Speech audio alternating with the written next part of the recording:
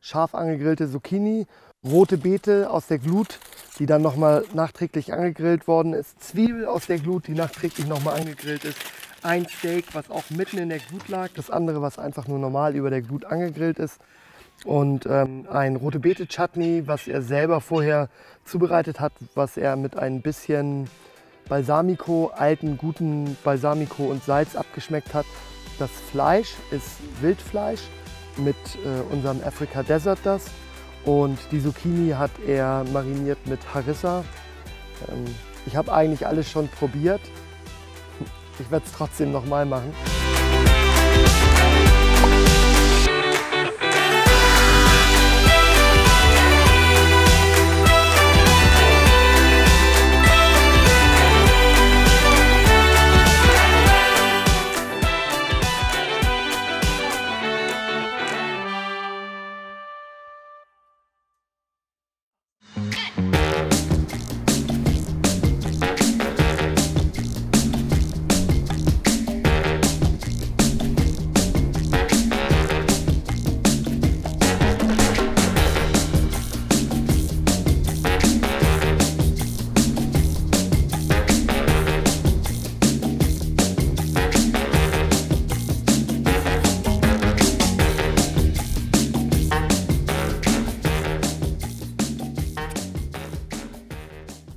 Guten Morgen, wir sind in der Nähe von Omoruru auf der Ondrokea Lodge und das hier ist Ron van Hamet. Is it right? Yes. Yes. Ron äh, ist Holländer und lebt in Namibia jetzt mit seiner Frau und seinen Schwiegereltern und die äh, führen diese Lodge. Ron kommt aus einer Sterneküche in Holland und äh, er bereitet alle seine Gerichte draußen live auf einem Brei zu. Rote Beete ist so ein bisschen was wie das Nationalgemüse hier wächst hier sehr gut in der trockenen und in dem wüstigen Boden. Ron schmeißt die Dinger einfach in die Glut, macht da ein bisschen Alu drum, wirft die in die Glut und er sagt, die werden super süß. How long do they take? About 40 minutes. 40 minutes, also 40 Minuten bleiben die wirklich so in der Glut liegen. Es wird sogar noch besser. Hier auf dem Gelände gibt es Wild und das schießen die selber und das gibt es heute auch. Das ist ein Hardeby, äh, Name auf Deutsch muss ich noch mal rauskriegen. Das wird er mit äh, Africa Desert Dust machen, glaube ich. Die Zucchini hier, die wird er mit Harissa marinieren. Und der fermentierte Pfeffer kommt nachher über das Fleisch rüber. Sehr lecker.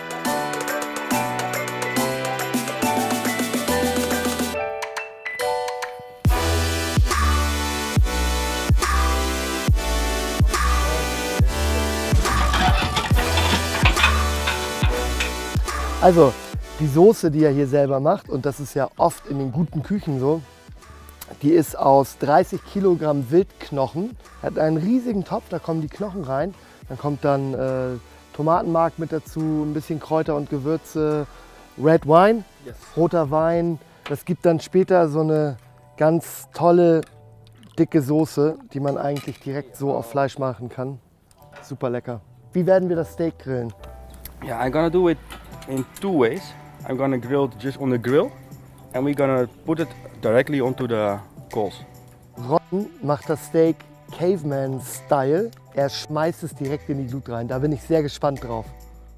Genauso wie die rote Beete macht Ron auch die Zwiebeln direkt in der Glut. Die Zwiebeln werden aber auch nicht eingepackt, sondern kommen einfach ganz wie sie sind so in die Glut rein. Da die sehr groß sind, kann man dann nachher so zwei, drei Schichten von der Schale abnehmen und innen drin sind sie dann ganz super lecker durch, ein bisschen süßer, super. Ron lässt die immer ganz, also äh, er schneidet die wirklich nur einmal in der Mitte durch, dann mariniert er die und dann kommen die auf den Grill. Good. Shall I give you this? Yes, it will be nice.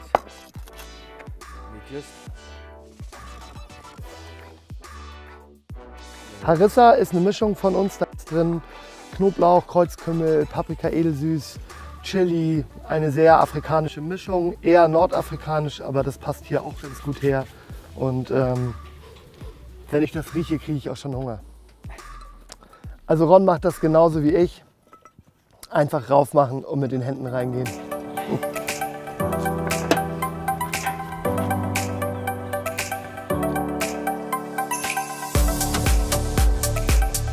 So, Ron wird jetzt mal die Steaks vorbereiten. Ja, yeah, of course. Here we have some nice hard to be steak. It doesn't have any fat. Da ist überhaupt No. gar kein Fett dran. But still it tastes good. Yeah, you don't have to overcook it. Yeah. Then it gets a little bit tender and the taste will be very strong. Man darf das Wildfleisch nicht überkochen, also man muss gucken, dass das richtig schön rosa ist in der Mitte, dann schmeckt es super. Normally I cook the inside temperature 46 degrees. 46, Yes. 46 Grad Kerntemperatur, das ist ganz schön wenig. Aber gut. The onions look ready. Die Zwiebeln sind schon ganz schwarz. Yes. They are not yet ready. Almost. Okay. So, wir probieren jetzt mal eine Zwiebel. Very easy. Just come out. Perfekt. And this is how you would put them also on um, the plate. on the plate. So als Ganzes würde er die auch auf den Teller tun. Ähm, riecht phänomenal. Und ich hoffe, er lässt mich mal probieren. Can we try one? Yeah, of course. Thank you. Yeah, have a taste. Das ist einfach nur eine Zwiebel. Aber die ist so lecker. Mm, super. Great. It's nice. Great. It's really easy and really good. Yeah, really tasty. I will take care of this.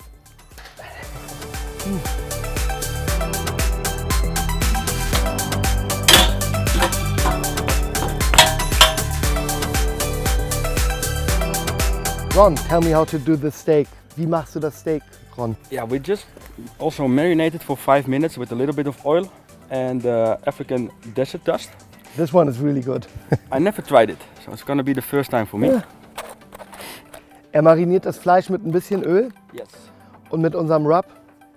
Und äh, er ist sehr gespannt, wie das schmeckt.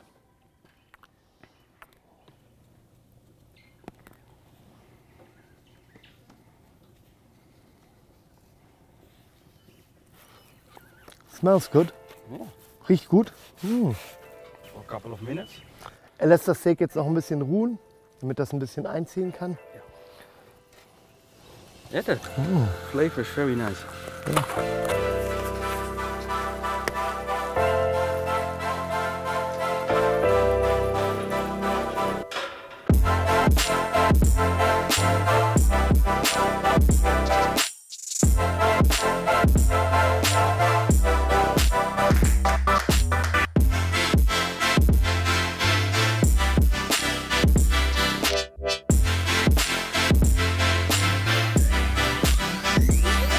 Also er bereitet die meisten Sachen äh, drin in der Küche vor, klar. Und ähm, grillt sie dann aber fertig draußen, damit die Gäste, die hier sind, das sehen können. Toll, finde ich super. Die Zucchinis kommen auf den Grill. Yes. In a couple of years, I don't have any hairs left on my arms. Those onions are also ready. Okay. Er nimmt mal die Zwiebeln runter. Get them out of the fire.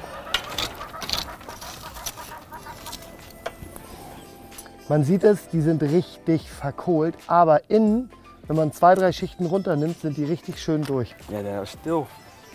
They're gonna be a little sweeter than the than the small ones. Die großen sind etwas süßer als die kleinen. Und er packt die jetzt ein, damit da keine Luft dran kommt mehr. Er sagt, dann kriegt man die Haut besser ab. Er fässt wirklich die glühenden Zwiebeln an, die aus dem Feuer kommen.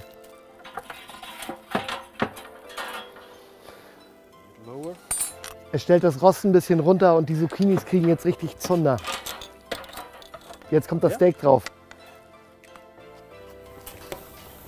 We start with this one because the other one goes directly onto the fire, so it doesn't need about three minutes. So we can wait with that. Okay. Also er macht das eine Steak einfach auf den Grillrost drauf. Das braucht ein bisschen länger. Er sagt so fünf Minuten bis sechs. Und äh, das kleine Steak, das legt er direkt in die Kohlen. Das ist nach drei Minuten durch. Deshalb muss das noch ein bisschen warten. Und die rote Beete kommt vom Feuer. Kommt mit.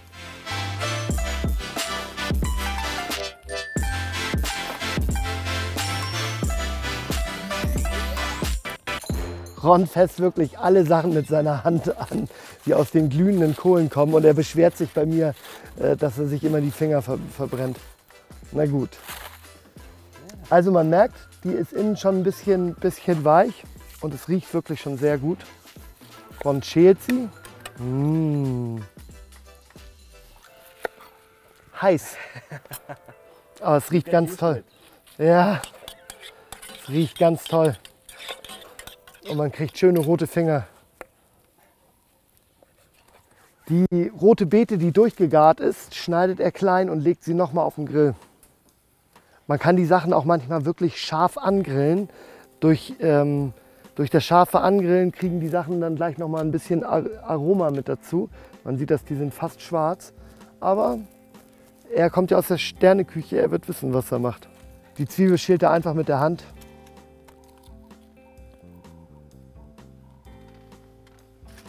Und ich mache mal das, was ich am besten kann, aufräumen. A little bit of cleaning. Yeah.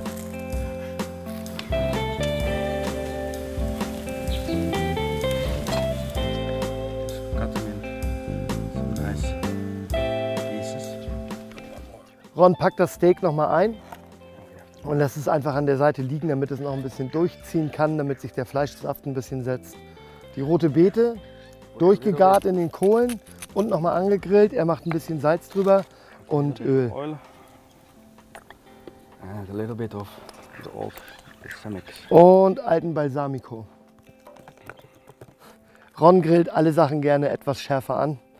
Ähm, er sagt, das Aroma, was man durch das äh, Anbrennen kriegt, ist super. Er hat das Steak einmal umgedreht in den Kohlen und ähm, ist auch gar nicht schwarz außen, es sieht super aus. Gut. We also wrap in a little bit of foil. Er würde seinen Gästen gerne das Steak immer roh bringen, aber er sagt, die wollen das immer ein bisschen durchhaben. Aus dem Grund, ja. Also rare finde ich auch nicht so lecker. I prefer me medium rare. Yeah, me as well. Okay. So I will get the plate and then we can start Perfekt. dishing up. Ron holt einen Teller und dann geht's los.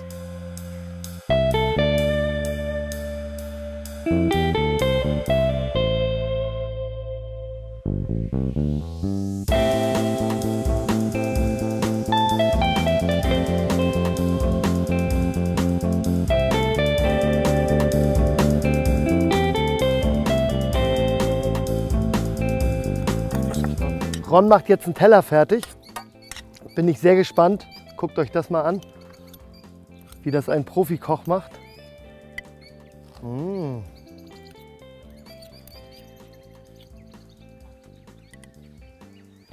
Jetzt positioniert er die angegrillte rote Beete daneben.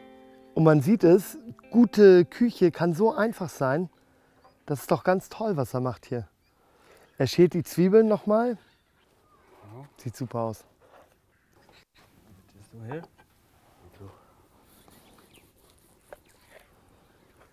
Mmh.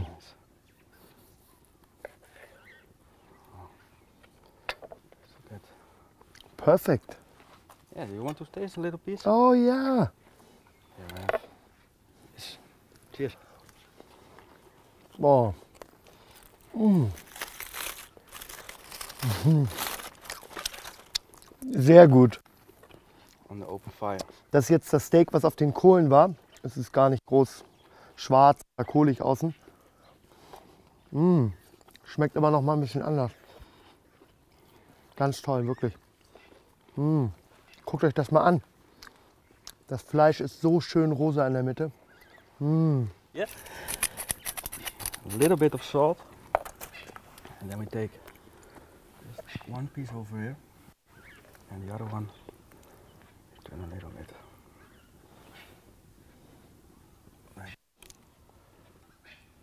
Jus.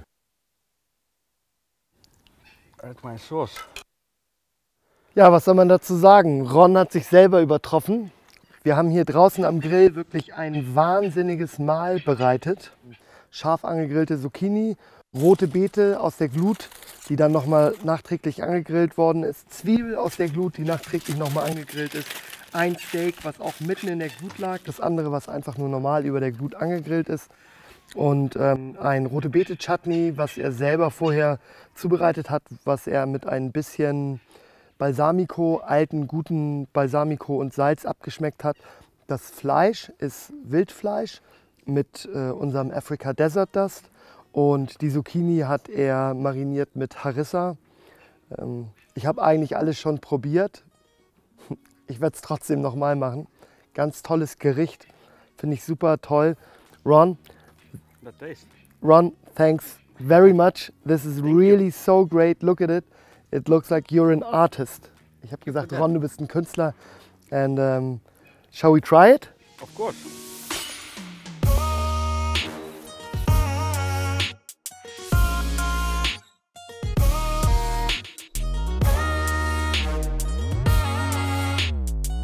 Ron und ich probieren jetzt einfach mal. Let's try. Shall I start? Of course. Thank you. I'll take a little bit of the pepper. Ich nehme mal ein bisschen was von dem fermentierten Pfeffer mit dazu.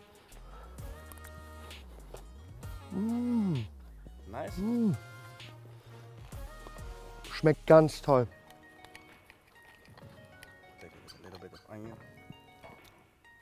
Super zartes Fleisch. Schöner Wildgeschmack dran. Das Gewürz passt da auch perfekt zu. Dann probiere ich mal die rote Beete. So. Mm. Mm.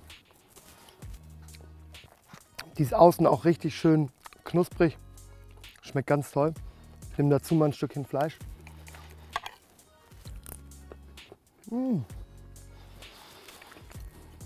Das war's von der Ondrukea Lodge und äh, ich bedanke mich bei Ron. Ron, thanks. That was really great.